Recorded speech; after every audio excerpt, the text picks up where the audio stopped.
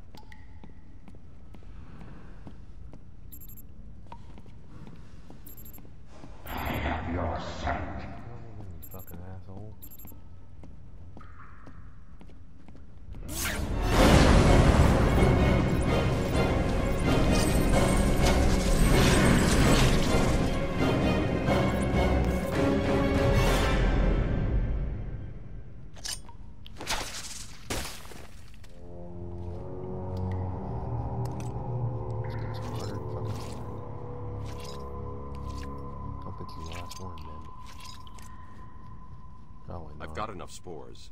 I need to get back to the Batcave and formulate the antidote. Oh, I get it. You've activated a sonar beacon down there.